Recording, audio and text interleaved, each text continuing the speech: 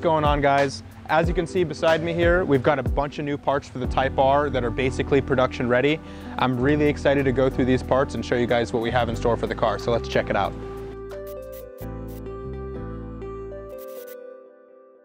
All right, so in front of me, I have a full charge piping kit for the car.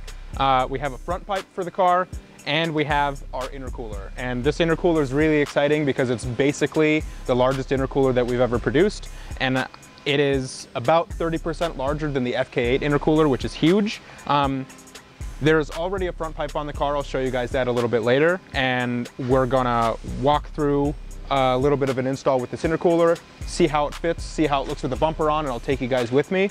Um, the intercooler does need to come off a couple more times, so uh, I'm not gonna put the charge pipe kit on right now, but I will sort of walk you guys through the parts of the stock charge pipe system that we're replacing and how it's gonna benefit your car. All right, so we're gonna go ahead and get started with the charge pipe kit here. Um, and again, I'm just sort of talking about it here.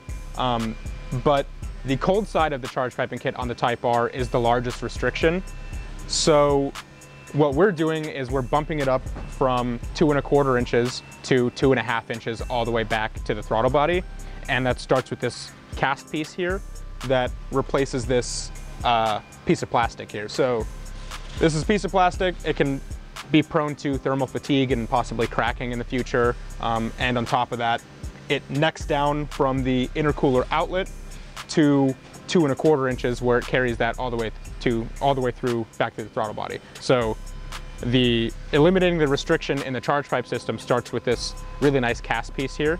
And we have the lower silicone and then the upper hard pipe and the throttle body coupler. And that's the whole cold side kit.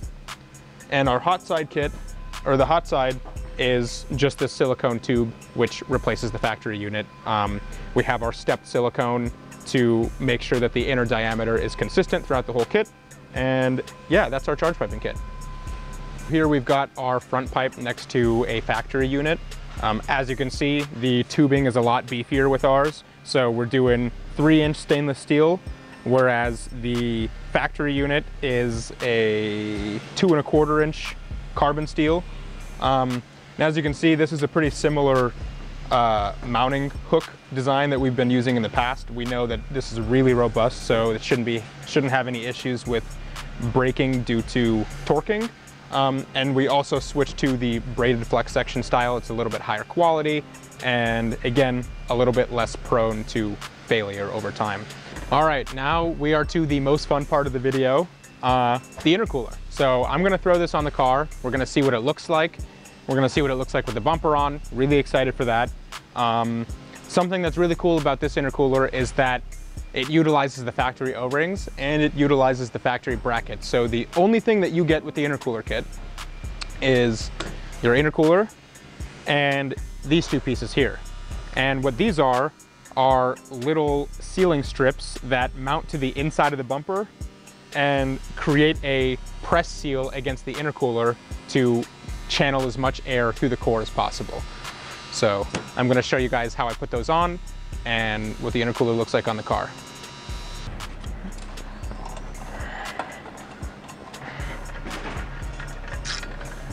We got the intercooler on the car. You can kind of see the guts of it, how it all works. Um, as you can see, this intercooler is basically as big as we could have possibly made it. I mean, literally, if we would have made the core any taller, the welds would hit on the bumper beam.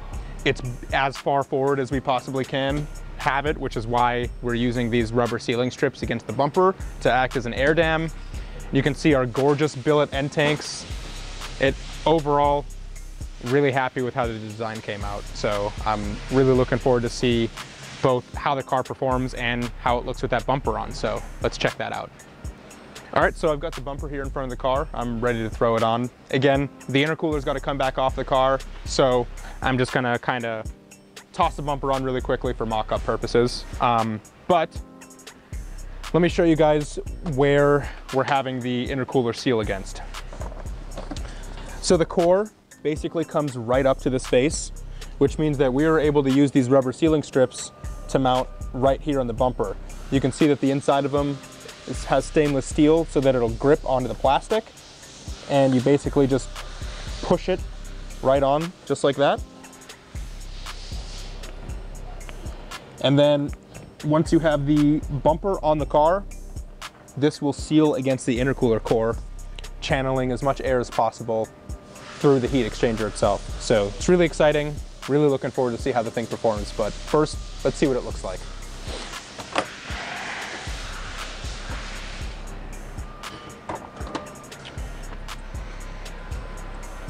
Oh, dude, that is gnarly. Look, it fills up the whole, the whole part of the bumper, the whole grill. That is sick. Dude, yeah. All right, and as you can see, the rubber sealing strip is right up against the core, squishing it just a little bit, so we're channeling all of that air directly through the core. I mean, it's, it's sensational, it really is. Cool.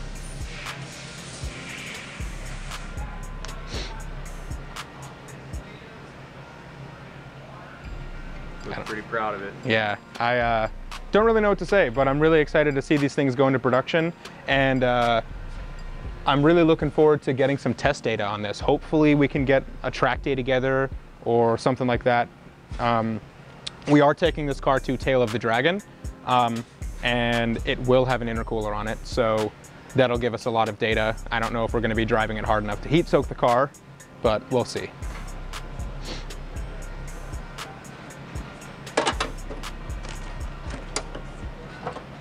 Yeah, so just a quick recap.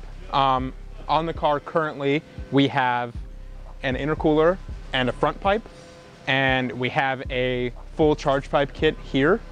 Um, we have a stage one kit, uh, stage one intake kit, and we have a titanium inlet kit on the way. Um, the last piece of the puzzle basically is, oh, we also have the flex fuel kit. Uh, the last piece of the puzzle is the high volume intake, which I believe you guys saw a couple snippets of the 3D printed airbox in there. You can, can maybe see a little bit. That is basically where we're at with the Type R. So I hope you guys enjoyed the video. Make sure to keep an eye on our website for when some of this stuff becomes available actually for sale, when we get uh, production batch rolling in. And uh, yeah, take it easy guys, enjoy your day.